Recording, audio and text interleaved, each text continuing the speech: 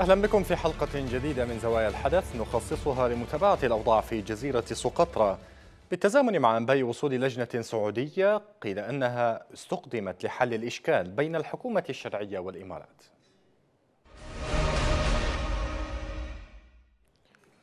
قالت مصادر حكومية يمنية إن لجنة سعودية عليا وصلت إلى محافظة أرخبيل سقطرى لحل الإشكال بين الحكومة اليمنية والإمارات. والذي بلغ ذروته اليومين الماضيين. وكانت الإمارات أرسلت خلال هذين اليومين قوة عسكرية سيطرت على أبرز المرافق السيادية في الجزيرة كرد على زيارة رئيس الحكومة اليمنية أحمد عبيد بن دغر وعدد من الوزراء إليها وبقائه فيها عدة أيام من أجل افتتاح عدد من المشاريع التنموية. وأشارت المصادر للأناضول أن وصول اللجنة جاء بعد تواصل بين الرئيس عبد الرب منصور هادي مع القيادة السعودية ووضعها أمام الإشكال الحاصل. نتوقف عند هذه التطورات لنناقشها في محورين. كيف تحول دور الإمارات من مساندة للشرعية إلى تقويضها والتوسع في الأراضي اليمنية؟ وما هي الخيارات الحكومية اليمنية للتصدي لمطامع دولة الإمارات في اليمن؟ قبل النقاش نذهب إلى مشاهدة هذا التقرير ومن ثم نعود. تحركات حكومية وتحركات إماراتية مضادة. ميدانها الخارطة الجغرافية لجنوب اليمن. واعتصموا بحبل الله جميعا ولا تفرقوا. فعلى وقع العروض العسكرية التي قدمتها تشكيلات مسلحة احتفل المجلس الانتقالي الجنوبي بالذكرى الأولى لإعلان عدن التاريخي رافعا العلم التشطيري مما كرس بحسب مراقبين استمرار حالة الانقلاب المسلح على الشرعية التي بدأت في يناير الماضي. سبق الاحتفال المسلح للمجلس الانتقالي الموالي للإمارات انتشار مفاجئ لقوات إماراتية في مطار سقطرى وصلت الأربعاء الماضي على متن ثلاث طائرات تحمل قرابة مئة جندي إماراتي. يؤكد دبلوماسيون أن التحركات الإماراتية في عدن وسقطرى تأتي كرد فعل على تحركات الحكومة التي قررت الخروج من الصمت وبسط سيطرتها. فنشاط الحكومة برئاسة بن دغر في سقطرى والاستقبال الشعبي الكبير لها أثار حفيظة أبو ظبي. لكن التواجد العسكري المباغت في سقطرى المحافظة البعيدة عن المواجهات مع ميليشيا الحوثي كشف وفق ناشطين عن تخبط الإمارات ومطامعها غير الشرعية في اليمن. ليس وحده النشاط الحكومي في سقطرى ما أغضب الإمارات فتشكيل الائتلاف الوطني الجنوبي المؤيد للشرعية أتى معاكسا لخط المجلس الانتقالي المؤيد للإمارات فالائتلاف الجديد يدعم مخرجات الحوار الوطني التي تنص على فكرة الدولة الاتحادية. التحركات العملية للشرعية خصوصا منها تشكيل الائتلاف الجنوبي خلطت أوراق أبو ظبي بنظر مراقبين. ففي الوقت الذي بدا فيه المجلس الانتقالي متمردا ومعبرا عن رؤية أحادية انفصالية ظهر الائتلاف الجنوبي بشكل يعبر عن رؤى جنوبية مختلفة مما يمكن له أن يسحب بساط احتكار التحدث باسم الجنوب محليا ودوليا مجددا الترحيب بكم مشاهدينا الكرام كما أرحب بمن ينضم إلينا من سقطرى الناشط السياسي أحمد العرقبي أهلا بك أستاذ احمد.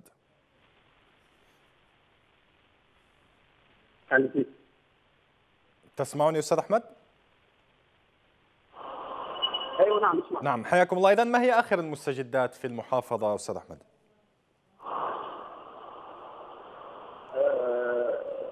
أخي العزيز نشكر قناه مرة ثانية على يعني سيطرة الضوء على موضوع تواجد المواطنين في سقطرى.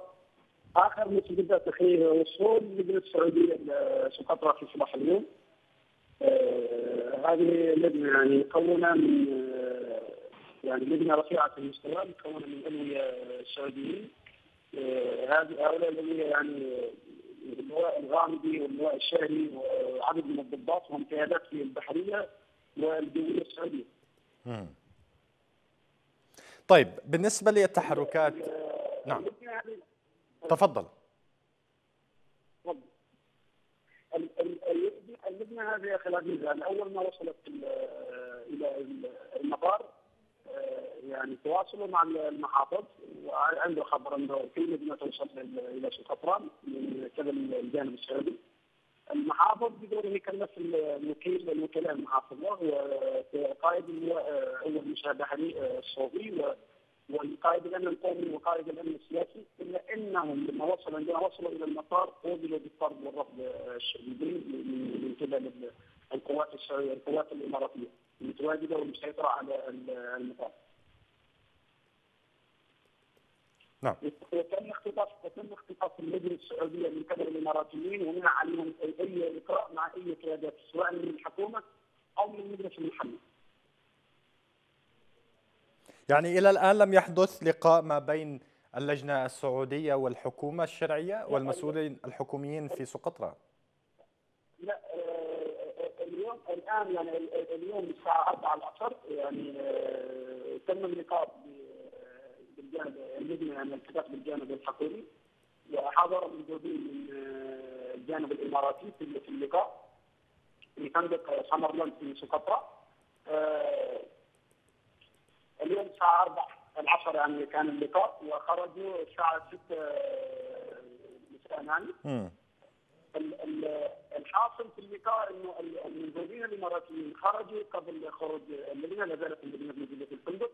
وخرجوا منزعجين جدا وبدأت على على وجوههم عدم الرضا من الاجتماع وعدم الرضا من اللقاء بالحكومة يبدو ان يبدو من من خلال خروجهم منزعجين أن في في يعني في جانب من من عدم قبول اللجنه وعدم قبول الحكومة لتواجد الاماراتي في سقطرى.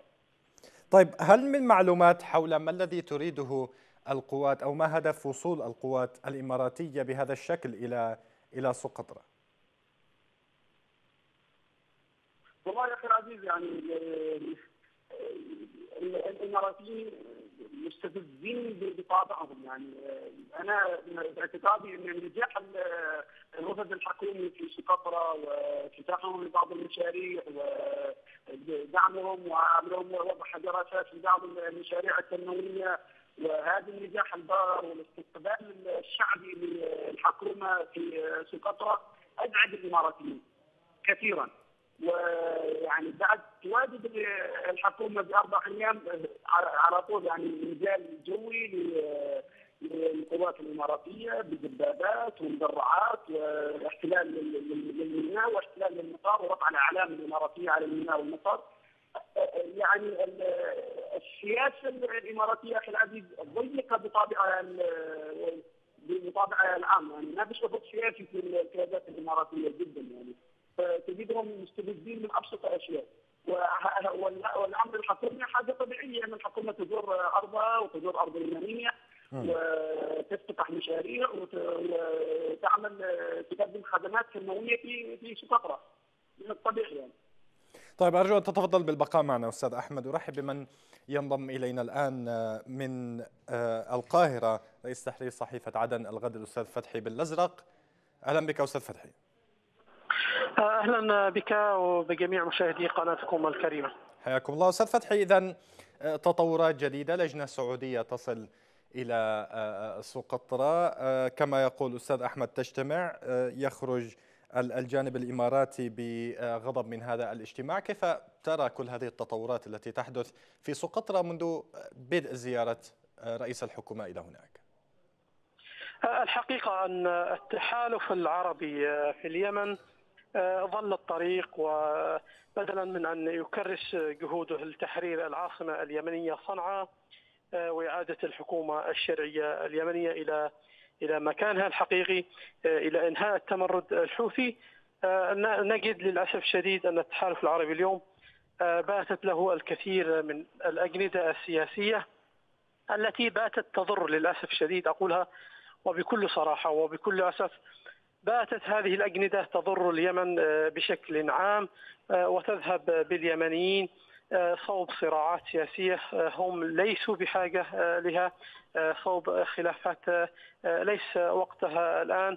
التحالف العربي صارت له للأسف شديد أجندة خاصة ينفذها في مناطق كثيرة سواء كان في جنوب اليمن أو في شمال اليمن. إذا لم تعد معركة التحالف العربي تحرير صنعاء ولا إعادة الحكومة الشرعية بقدر ما باتت محاولة لإضعاف الحكومة الشرعية التي للأسف الشديد لا تزال تلتزم الصمت حتى اليوم ولا تزال تعطي ظهرها للتحالف لكي يمارس كل أنواع الانتهاكات بحق الحكومة.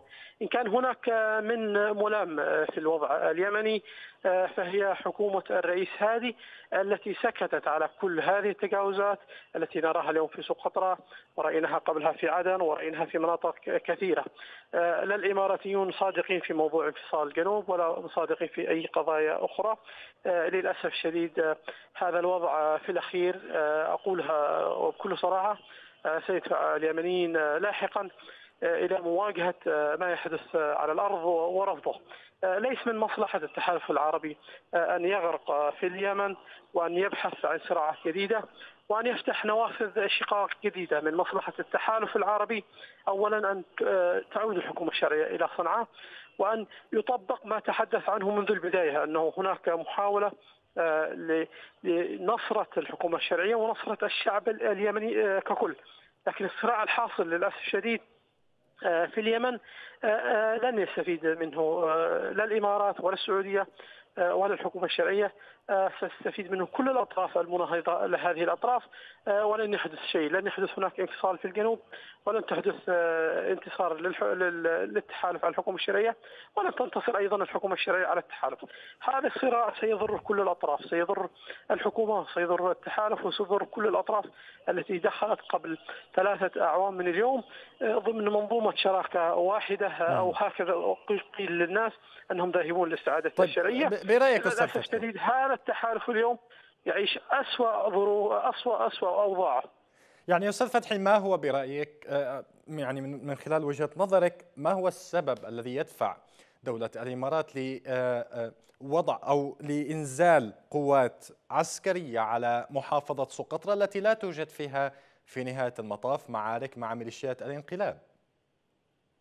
الحقيقة قبل يومين صحيفة الإندبندنت البريطانية حذرت وقالت أن العالم بات ينظر إلى وضع الجزيرة على أنها تتعرض لاحتلال جديد جزيرة سقطرى أساسا هي محمية طبيعية وجود قوات عسكرية أو أمنية لأي طرف من الأطراف أمر غير مقبول يعني سواء حتى كانت حتى حتى على المستوى المحلي يعني حتى الحكومة ليست ملزمة أو أو مطلوب منها أن تضع قوات عسكرية كبيرة في جزيرة هي أساسا محمية طبيعية فلماذا أساسا تذهب الإمارات إلى إلى إلى إلى سقطرى؟ يعني هل هناك خطر حوثي؟ طبعا لا يجوز هناك خطر حوثي، لكن الأمر هو في الأساس ضمن صراع دولي كبير، صراع قطري، آه، تركي، سعودي، آه، إماراتي داخل منطقة آه، البحر العربي وخليج عدن. هناك صراع دولي سقطرى للأسف الشديد تدفع ثمنه، لكن في الأخير الناس لا يلومون الناس الناس في اليمن لا يلومون آه، الإمارات. في الأخير الإمارات آه، بلد أجنبي وسيرحل اليوم آه، أو غدا. لكن الناس تلوم من جاء بالإمارات. من جاء بالإمارات هو الرئيس عبد الرب منصور هادي وحكومته. هؤلاء هم من جاءوا, بالإمارات وجاءوا بالسعودية وقالوا أنهم منحوهم اذنا بالتصرف في الأراضي اليمنية. اذا ناس لن لن تلوم الا إلا الرئيس هادي. على الرئيس هادي أن يخرج عن صمته ويقول للناس فيما إذا كان ما يحدث وضع طبيعي أو غير طبيعي مع أنه واضح للعيان أن سقطرى تذهب صوب صراع. لن تستفيد منه سقطرى، لن يستفيد أهالي سقطرى، أهالي سقطرى بحاجة إلى مشاريع إلى تنمية، ليسوا بحاجة إلى مدرعات لأي طرف من الأطراف، لذلك الوضع العام في سقطرى أول من يتحمله هو الرئيس هادي، وعلى الرئيس هادي أن يخرج عن صمته ويقول للناس، فيما إذا كان راضي عن ما يحدث في سقطرى فهنا يكون الأمر مختلف، لكن ان تظل الحكومة آه، تدير ظهرها لما يحدث في سقطرى وبعد وقوع الفاس في الرأس آه، تتحرك في هذا الأمر نعم. المرفوض جملة وتفصيلا من كل اليمنيين، اليمنيين اليمنيون بشكل عام يرفضون أي تدخل أجنبي طيب. سواء كان إماراتي سواء كان قطري سواء كان تركي سواء كان اليمن ليست بحاجة إلى أي تدخل أجنبي، التدخل الأجنبي للاسف الشديد أضر باليمن وال, وال... نعم وال... والدول العربية للأسف الشديد لم تقدم لليمن شيء حتى اللحظة. طيب أستاذ فتحي دعني أعود إلى الأستاذ أحمد العرقبي في نقطة المزاج الشعبي. أستاذ أحمد هل نقلت لنا بصورة أكبر؟ ما الذي يعني كيف هي ردة فعل الناس حول ما يجري آه، على الأرض في سقطرى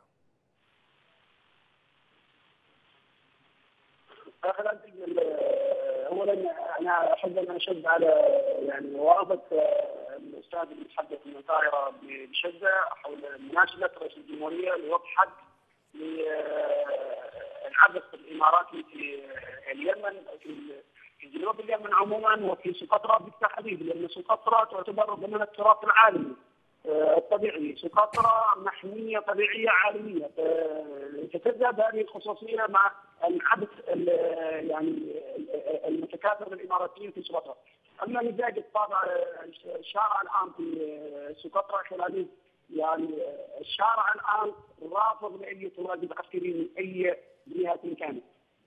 معنا ما, ما يزيد على 7000 عسكري متواجدين في من أبناء الخليل سقطرى ومتواجدين في في المحافظة هم أولى بحماية وأمن تامين المحافظة والمحافظة ليست بحاجة إلى التواجد العسكري لا يوجد معنا لا قاعدة ولا داعش ولا أنصار الحوثي ابدا. نحن شعب مسالم شعب آمن يعني جزيرة مسالمة آمنة وليس في أي شيء. يعني حاجة مستبعدة والناس مستغربة جدا التواجد العسكري الإماراتي ورافضه بشدة التواجد العسكري الإماراتي في فتره مرحب بالتنمية، نحن بحاجة إلى تنمية، نحن بحاجة إلى يعني أبسط أشياء تنموية في فتره. يعني يأتون لنا بدبابات ومدرعات. ليس لسنا بحاجه إليها يعني؟ البته يعني. ليس لسنا بحاجه إليها البته. فالناس رافضه الاحتلال الإماراتي في سقطرى أشكرك اذا الأستاذ أحمد العرقبي الناشط السياسي. كنت معنا عبر الهاتف من سقطرى بالعودة إليك أستاذ فتحي. هذه الأمور كلها تزامنت مع تشكيل ائتلاف جنوبي ائتلاف سمي ائتلاف الوطني الجنوبي وكذلك عرض عسكري للمجلس الانتقالي الجنوبي. هل لهذا الأمر علاقة بما يجري في محافظة قريبة أو في منطقة قريبة وهي سقطرى آه، شخصيا لا أعتقد بوجود أي علاقة بين الطرفين آه، بين ما ما حدث في عدن من عرض عسكري آه، وما بين تشكيل الائتلاف الوطني الجنوبي. للأسف الشديد الجنوب ككل تحول إلى إلى ساحة صراع إقليمية كبيرة كبيرة جدا تتصارع فيها السعودية وقطر وتركيا والإمارات آه، بالإضافة إلى أطراف سياسية يمنية. لكن بالمجمل آه، هناك ائتلاف وطني جنوبي تم الإعلان عنه وهذا من حق آه، فئة جنوبية أن تعلن ما تريد والمجلس الانتقالي يتحرك منذ عام وهذا من حقه وأمر مكفول له لكن المشهد هو ربما أكبر من العرض العسكري وأكبر من الائتلاف الوطني الذي يعلن عنه. هناك صراع سياسي، هناك صراع سياسي كبير آه، داخل آه، الجنوب منذ انتهاء الحرب. آه، عناصر هذا الصراع هي السعودية والإمارات وقطر والإصلاح وكل وكل التيارات الأخرى. كل هذه الأطراف السياسية للأسف الشديد تتصارع فوق أنقاض حرب كبيرة، كل هذه الأطراف آه، لم تلتفت لحال المواطن العادي لم تذهب آه، صوب تنمية آه، هذه المحافظات المتضررة وعلى رأسها مدينة عدن ما يحدث هو جزء من صراع كبير لا. نعم. سياسي انطلق منذ نهاية الحرب وحتى اللحظة هذا الصراع يستعر كل يوم أكثر وأكثر. والمؤسف أنه المواطن العادي في الجنوب يتضرر كل يوم آه، من من هذا الصراع. ما يحدث في سقطرى ما يحدث في عدن ما يحدث في الطالع في كل المحافظات الجنوبية وحتى ما يحدث في تعز. هو ضمن صراع خليجي خليجي للأسف الشديد آه، ينهك اليمن طيب. ويدمر اليمن ويضيف لليمن أعباء آه، إضافية تضاف كل يوم أكثر طيب ابقى ابقى معي أستاذ أستاذ فتحي ابقى معي أرحب بمن ينضم إلينا الآن مستشار وزير الإعلام الأستاذ مختار الراحبي أستاذ مختار وفقا للأحداث الأخيرة في سقطرى وما يجري فيها هناك حديث كبير حول لماذا الشرعية صامتة إلى الآن؟ ما الذي يحدث بالضبط؟ الناس يتساءلون إذا كانت هذه إفعال الإمارات لماذا اذا لا تخرج الشرعية بشكل واضح وتدين هذه الأفعال وحتى تطالب بخروج الإمارات من اليمن؟ اولا بالنسبة للشرعية اولا مساء الخير عليك وعلى المشاهدين الكرام جميعا، بالنسبة للحكومة الحكومات تبنت نهج آه، آه، يعني آه، لا تتحدث في وسائل الإعلام في كل الأزمات السابقة سواء التي حدثت في مدينة عدن أو ما حدث في محافظة الخبيل سقطرى ما حدث اليوم في في في في أرخبيل سقطرى هو أن الإمارات مستمرة في نهجها العبثي وتتعامل مع مع اليمن ومع جزيرة سقطرى ومع بعض المناطق الأخرى في اليمن وكأنها مناطق إماراتية خالصة المناطق إنشاء تشكيلات عسكرية مسلحة خارج إطار الدولة.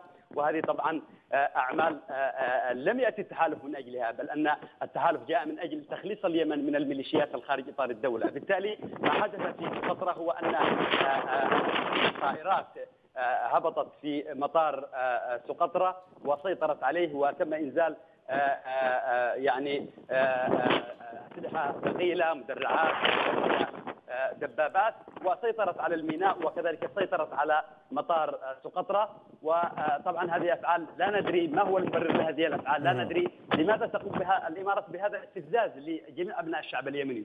الإمارات منذ أن دعمت الانقلاب في مدينة عدن وهي مستمرة بهذا النهج للأسف الشديد قامت بدعم الانقلاب في عدن. وحينما تم إفشال هذا الانقلاب تريد نقل هذه التجربة السيئة التي من خلالها يحاولون إظهار الحكومة انها حكومة عاجزة انها حكومة لا تستطيع تقديم شيء وأيضا تريد تدمير الشرعية تريد تدمير علاقة الشعب مع الحكومة الشرعية من خلال دعم هذه الميليشيات. ما يحدث في جزيرة سقطرى عبث إماراتي خالص يجب أن يتوقف فورا هذا العبث العبث ويجب أن تحترم الإمارات سيادة وأمن ووحدة الأراضي اليمنية. وأنا أعتقد أن فخامة رئيس الجمهورية وكذلك الشرعية لن تقف مكتوفة الأيادي حتى وإن لم يتم الإعلان من خلال وسائل الإعلام لكن هناك إجراءات هناك تواصلات هناك أيضا ما يمكن أن تقوم به الحكومة الشرعية بعيدا عن وسائل الإعلام لأننا في ظل شراكة حقيقية مع المملكة العربية السعودية والتحالف العربي الذي سيتضرر بشكل مباشر في حال تم التصعيد في وسائل الإعلام، لكن الحكومة ليست عاجزة، الحكومة ليست لا تقبل بهذه الأعمال التي لا تمت للدبلوماسية ولا للبروتوكولات ولا للمواثيق ولا لاحترام وسياده الأراضي، هل أنا أطرح سؤال هنا، هل تقبل الإمارات بأن يتم فعل ما ما, ما قامت به اليوم في سقطرى، هل تقبل أن يتم هذا في أبو ظبي أو في دبي أو في غيرها من الإمارات؟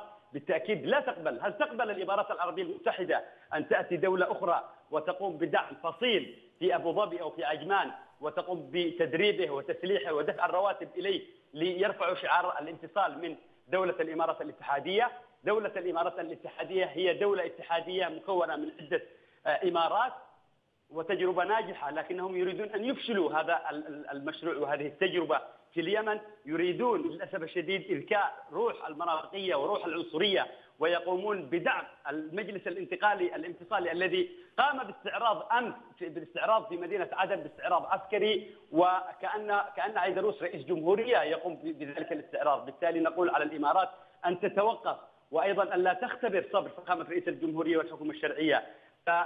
حينما يصمت فخامة الرئيس وحينما تصمت الحكومة ليس عجزا من الحكومة. وأيضا ليس أن الحكومة لا تستطيع أن تتحرك وأن تعمل. الحكومة تستطيع. وأعتقد أن الحكومة لو تحركت وتحدثت فإنها ستوجع الجميع وستقلب الطاولة على الجميع. طيب أرجو أن تتفضل بالبقاء مع أستاذ مختار. أعود بعودة أخيرة أستاذ فتحي بالأزرق. إذا يقول أستاذ مختار أن هناك عبث إماراتي خالص في سقطرى وفي أماكن أخرى من اليمن. أمام ذلك ما برأيك أستاذ فتحي ما هو الواجب عمله في سياق إنهاء هذا العبث؟ يعني تطبيع الأوضاع وتوجيه بوصلة المعركة نحو إنهاء الانقلاب. بالنسبة لي أنا كمواطن لا ألوم الإمارات بالمطلق. بالمطلق لا ألوم الإمارات ولا ألوم أي طرف يريد أن يعبث باليمن. أنا ألوم الحكومة الشرعية ممثلة بالرئيس هادي. الرئيس هادي هو من أتى بالتحالف العربي إلى اليمن. وأي ضرر يتسبب به التحالف العربي لليمنيين بشكل عام جنوبا وشمالا المسؤول الأول والأخير هو إدارة الرئيس هادي. اللحظة التي ستخرج فيها إدارة الرئيس هادي لتقول للناس بأن الوضع في هذه المناطق تحول من نجدة إلى احتلال وقتها الناس ستهب وستدافع عن أرضها. اليمنيون أهل عزة وكرامة ولن يقبلوا أن يدوس لهم أي مخلوق على طرف. هذا أمر لا خلاف عليه. ومن مثل ما يقول المثل من يقرب أو حاجة من هذا القبيل. يعني بالمختصر مفيد اليمن أرض الغزاة. لم لم يستطع لم لم ينال منها أي طرف. لكن طالما الحكومة الشرعية تتحدث آه، بهذه اللغة من الضعف وتؤكد أكثر من مليون مرة أن العلاقة طيبة مع التحالف العربي وأن هناك تعاون هنا لا يمكن لأي أطراف سواء حزبية أو سياسية أو صحفية أن تتحدث وأن تهاجم الإمارات. لا يحق لأي حد أن يهاجم الإمارات طالما إدارة الرئيس هذه هي من تغض الطرف طالما إدارة الرئيس هذه هي من توفر الشرعية للإمارات وللسعودية ولا أي طرف ولا أي طرف دولي آخر.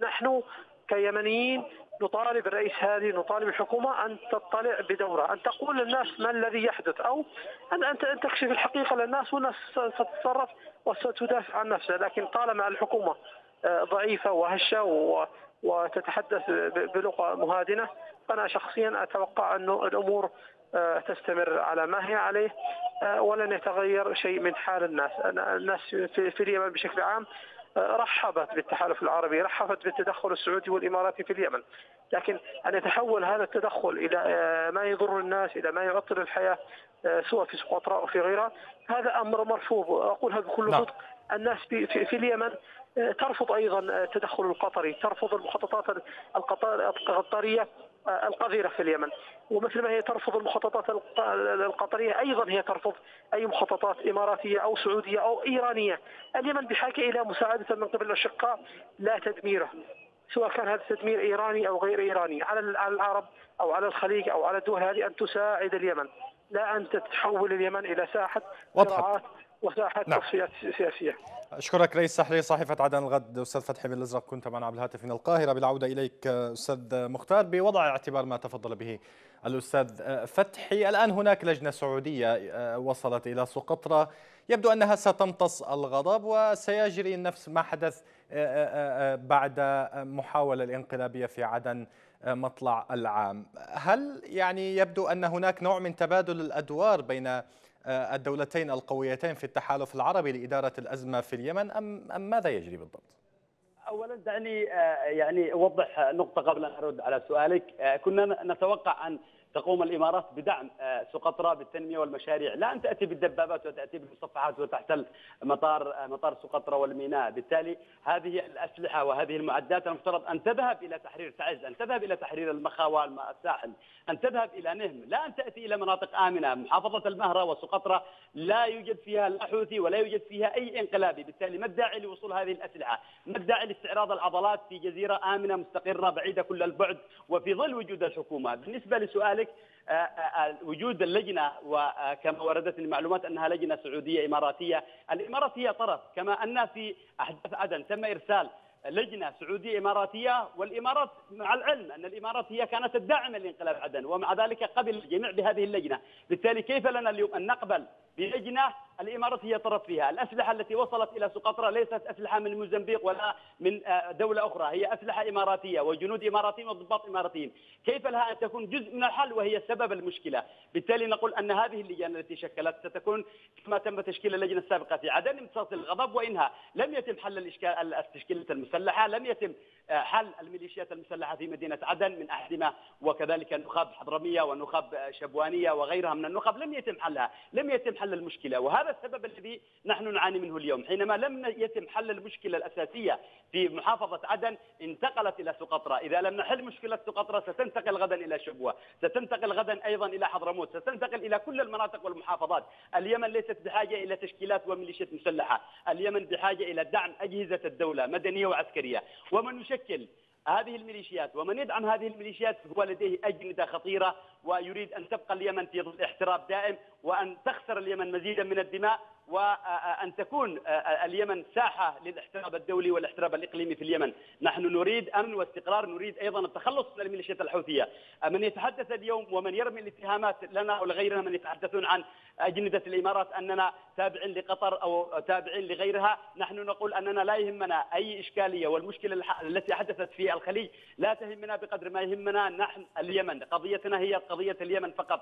ومن يحاول أن أن أن أن يرمي التهم للأصوات الحرة داخل الحكومة هو يحاول إسكات آخر الأصوات الحرة داخل الحكومة وداخل الشرعية من أجل أن يخلو الجو لكل من يتشدق ولكل من آه، يهتف بالنصر ومن يهتف للإمارات وغيرها، نحن نقول الإمارات دخلت إلى اليمن من أجل دعم الشرعية وليس من أجل القضاء على الشرعية، وهذا ما يجب أن يعرفه الجميع، سواء أشقائنا في التحالف العربي أو المجتمع الدولي، أن التحالف العربي جاء لسبب وحيد وهو سبب سامي تخليص اليمن من الميليشيات الحوثية المرتبطة بإيران ودعم الشرعية وليس القضاء عليها، من يدعم اليوم الميليشيات المشكلة في المناطق المحررة ويريد أيضا أن يأتي بتشكيلات مسلحة في مدينة تعز وفي كل المناطق التي تم تحريرها هو لا يريد الخير لليمن، هو يريد اليمن أن تبقى ساحة احتراب وأن تأتي بميليشيات لماذا لا يدعمون الجيش الوطني؟ لماذا لا يدعمون أجهزة الأمن؟ لماذا لا يتم تدريب وتأهيل أجهزة الأمن في وزارة الداخلية؟ وزير الداخلية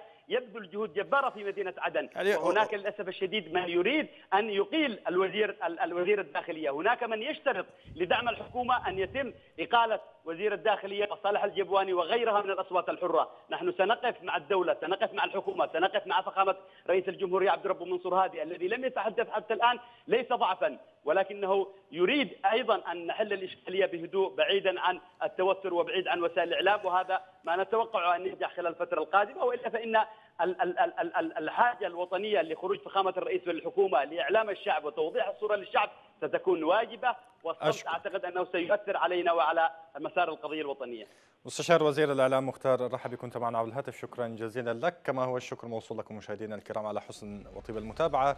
في ختام الحلقة تقبلوا تحيات الزميل ماهر أبو المجد منتج الحلقة وتحياتي وتحيات الطاقم الفني إلى اللقاء.